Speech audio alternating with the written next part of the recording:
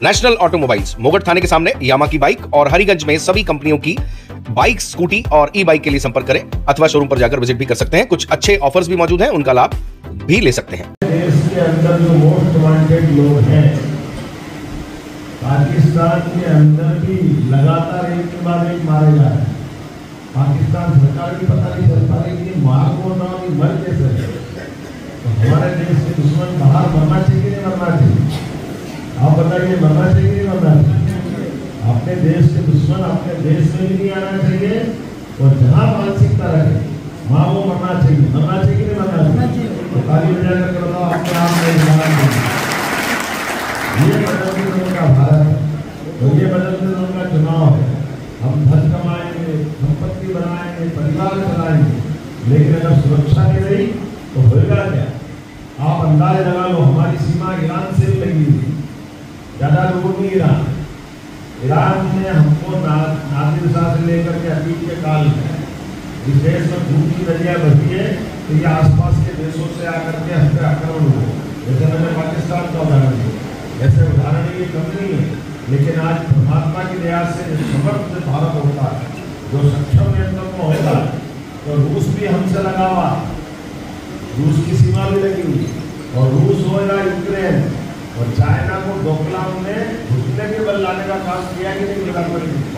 तो ये चाइना था, पहले युद्ध के बाद भारत ने उठा के देखना बंद कर दिया कांग्रेस की उधर देखना भूल थे करे करो हम दूसरी तरफ़ देखते एक लाख किलोमीटर ज़मीन आज भी हमारी उन्नीस सौ बासठ में गई हुई। तो चाइना के पास, लेकिन चाइना ने आगे बढ़ करके ना अब केवल अपनी ज़मीन छोड़ना चालू किया, बल्कि भारत के साथ सम्मान के साथ, व्यवहार करना शुरू किया। ये का भारत है हम सब सारे घटनाक्रम को याद करें। भारत के लोग, खासकर मध्य प्रदेश के लोग, भोले भोले, जल्दी भूल जाते हैं। कितनी जल्दी भूलते हैं कि अपने उस पुराने घटनाक्रम को याद रखने में बहुत जल्दी जिसको बोलते गफलत में आ जाते मैं उम्मीद करता हूँ आप सब सम्रांत वर्ग के लोग हैं। आप सब याद करो, आप में से व्यापारी वर्ग के लोग कौन कौन है? हाथ खड़े करो जिनका अपना व्यापार करते हैं अच्छा खेती किसानी वाले कौन कौन हाथ खड़े करो जो खेती किसानी करते हमारे पास दोनों तरह के लोग बैठे। आप व्यापार व्यवसाय वाले लोग भी आते हैं।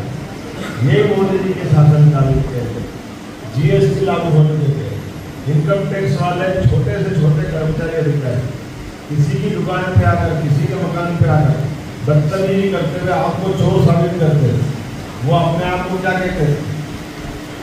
लूट के आपसे ले जाते वो बेईमान आपको कहते लूटने कौन आता आज स्वाभिमान के साथ आपकी वाइट की अगर लिमिट बढ़ी है, सम्मान के साथ आप जीएसटी सहित अपने सारे टैक्स इनकम टैक्स रिटर्न जमा कर रहे हैं। तो ये मौका किसने दिया? ये नरेंद्र मोदी जी ने दिया। ये पहले भी हो सकता था। आप में से किसानी वाले लोग बैठे हो यही कांग्रेस की सरकार चालीस साल की लेकिन दो रिकॉर्ड बनूँगा दोनों उदाहरण आप देख रहे हैं। एक उदाहरण ये था जैसा अभी राम मंदिर के मामले में भगवान राम का मंदिर किसकी कोर्ट से बना भाई? सुप्रीम कोर्ट में निर्णय से बना ना? ये ध्यान में सबको किस कोर्ट के फैसले से हुआ। लेकिन सुप्रीम कोर्ट के फैसले के बाद भी अतीत का पाप मत भूलना। केवल हमारे बीच में अभी तो ये हिंदू मुसलमान को लड़ाने का मामला था, राम मंदिर का। जिसके आधार पर देश में दंगे होते थे कर्फ्यू होता था पूरे देश में हाहाकार मचता था दोनों वर्ग लड़ेंगे तो कांग्रेस को वोट मिलेगा इसलिए कांग्रेस उस पॉलिसी में जाती है उसके उलट कांग्रेस मुस्लिम समाज से मुस्लिम के ज़रिए नुकसान करती आज याद दिलाओ तीन तलाक के मामले के अंदर कांग्रेस ने सुप्रीम कोर्ट में दिया हुआ फैसला भी बदलवा दिया तो आप क्या उम्मीद करते सुप्रीम कोर्ट का ये फैसला राम मंदिर का भी आता तो कांग्रेस बदलती कि नहीं बदलती? आप बताइए अब कांग्रेस वाले के हम नहीं बदलेंगे नहीं बदलते अतीत का पाप किसके माथे है? तीन तलाक का मामला किसने बदला? कांग्रेस ने बदला था ना? हमने बदला, सुप्रीम कोर्ट का फैसला था। और आगे बढ़ के देखो, आप बदलने के लक्षण बताता हूँ कैसे क्यों बदलते? इसलिए बदलते कि इनको आज भी राम मंदिर के निमंत्रण को पसंद नहीं आया। अब बताओ, इनके मन में पाप था कि नहीं था? इनके मन में पाप था इसलिए ये राम मंदिर का फैसला आ गया। मंदिर का भूमि पूजन हुआ, भूमि पूजन में भी नहीं आए। गर्भगृह का प्रवेश का निमंत्रण दिया, वो उसमें भी नहीं आए। आएगा, जब जब भगवान राम के जन्म का प्रमाण आया तो ये कोर्ट में खड़े हो गए। कहाँ राम पैदा हुए? इसने प्रमाण देखा। और तो राम सेतु जो उस समय का बड़ा बड़ा प्रमाण था, उसको तोड़ने का फैसला भी कांग्रेस सरकार ने किया। तो जनता ने प्रचंड बहुमत से विरोध किया। भाजपा और संघ परिवार का धन्यवाद कि सबने आगे विरोध किया तो वो अपना राम सेतु बचा है। तो ऐसे समय में ये सारे घटनाक्रम याद रखना पड़ेगा। अब मैं ज़्यादा तो क्या बोलूँ, समय की कमी इसलिए मैंने बोल दिया। आप ये बताओ, ये चुनाव किन किन के है? कोई बताएगा किन किन के बीच चुनाव? राम और रावण की बहुत अच्छा और बताए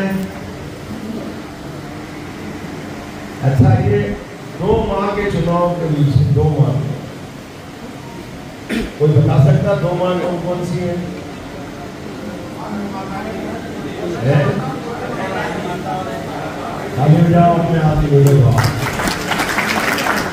ये है चुनाव दो माताओं के बेटों के बीच का चुनाव। एक बेटा भारत माता का है और एक किसका है बताने की ज़रूरत नहीं।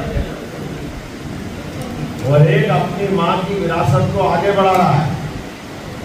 लगातार गरीबी से निकला हुआ जीवन में कभी सोच नहीं सकता था जो चाय बेचते बेचते इस लोकतंत्र को रागित कर रहा है, जिसके ऊपर एक सुई की नोक के बराबर भी कोई दाग नहीं और उसके उल्टे एक ही खानदान, आप बताओ देश के स्वतंत्रता सेनानियों ने देश को आज़ादी कराने के लिए क्या नेहरू खानदान को राज देने के लिए आज़ादी की लड़ाई लड़ी थी? लोग किस मुँह से कहते हैं कि हमारे को लोकतंत्र बचाना अरे, लोकतंत्र तो गिरवे लग गया है घर के अंदर आपने। इस बात को किसके सामने रखना पड़ेगा, हमको सबके सामने ले जाना पड़ेगा।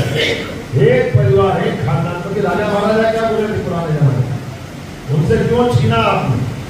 राजा महाराजा से छीन करके जनता के हाथ में ताकत और संविधान की मूल आत्मा ही जनता का शासन, जनता के द्वारा, जनता के लिए ये लोकतंत्र की पहली लाइन है। आप बताओ, एक ने संविधान बदलने की बात करने वाले याद करें। क्या कह रहे हैं? नेहरू खानदान का, कांग्रेस के लिए, नेहरू खानदान के वारिस के लिए फिर आपको वोट देना है। ये मैंने सीधा बोल के बोला और ये घुमा के बोल रहे राहुल गांधी के हाथ मज़बूत करना है, लोकतंत्र की मज़बूत करना आप बताइए इस देश के कानून का पालन आप सब करते हैं। आप इनकम टैक्स रिटर्न जमा नहीं करोगे, आपको नोटिस आएगा कि नहीं आएगा? आप बताइए आना चाहिए कि नहीं आना चाहिए? आप गलत काम करो, आपके खिलाफ रिपोर्ट होना चाहिए कि नहीं होना चाहिए? होना चाहिए कि नहीं होना चाहिए? ये गलत काम करे, उनके ऊपर रिपोर्ट हो रही है मुकदमा बन रहा है। ये जमानत पे है। कौन कौन जमानत पे जिसने कहा था मैं खाऊँगा ना खाने दूँगा जो मोदी जी ने कहा, करके दिखाया। इसलिए कोर्ट में लड़ो मुकदमा। आपको लगता है कि आप सोनिया गांधी जमानत पे हो, आपके साथ गलत हुआ कोर्ट पे भरोसा करो ना। राहुल गांधी जमानत पे, सोनिया गांधी जमानत पे, अखिलेश यादव का परिवार जमानत पे, लालू यादव का परिवार जमानत पे, शरद पवार का परिवार जमानत पे, उद्धव ठाकरे परिवार जमानत पे, ये सारे जमानत पे और सत्येंद्र जेल जेल जेल में है कि नहीं आप पार्टी वाले? अरविंद केजरीवाल, जेल में है कि नहीं? या तो जेल में या बेल में? दोनों के अलावा कोई है क्या? आप बताइए, इसके बीच में और कोई रास्ता है क्या? तुम्हारे ही क्यों लोग जेल में, तुम ही क्यों जाते हो जेल में तो तुमने जिस लाइन पर पकड़ा अब आपको कहोगे हम पे कोई केस नहीं बनेगा क्योंकि हम सत्तारूढ़ पार्टी है आप बता, अरविंद केजरीवाल, कितनी बार बोले? मैं मुख्यमंत्री हूँ, मैं क्या देखूँगा मैं कितने लोगों से मिलता हूँ? अरे भाई, हम भी मुख्यमंत्री हैं। देश के प्रधानमंत्री भी प्रधानमंत्री वो भी फ़ाइल पे साइन करते वो भी लोग थे लेकिन वो तो ऐसा काम नहीं करते। जिसको court lower court high court और सुप्रीम कोर्ट सब दूर चले गए। लेकिन दुर्भाग्य देश का संविधान लिखने वाले भी शर्मा गया जिसने लिखा कि मुख्यमंत्री को जेल में जाने के बाद इस्तीफा देना चाहिए, केवल ये लाइन नहीं लिखी। लेकिन ये तो समझ में आता है कि मुख्यमंत्री तो एक दिन भी अगर सरकार में नहीं रहेगा, एक दिन तो छोड़ो, एक घंटे का सरकार में नहीं रहेगा अराजकता छा जाएगी सारा तंत्र ठप पड़ जाए, और जितनी मोटी चमड़ी के लोग, कैसे बेशरम लोग या तो पहले गलत रहे जब आपके दो मंत्री जेल गए तो उनसे इस्तीफा क्यों लिया?